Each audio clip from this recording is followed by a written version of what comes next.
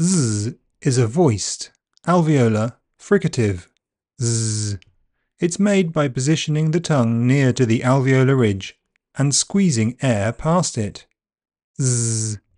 The voice box vibrates throughout. Z. Z is normally spelt with Z or S.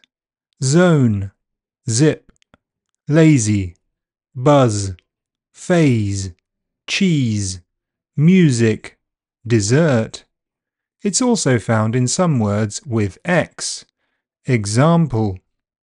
When a word that ends in a vowel sound or a voiced consonant is pluralized with S, the pronunciation is normally Z. Pays, claws, fees, lobs, heads, sings.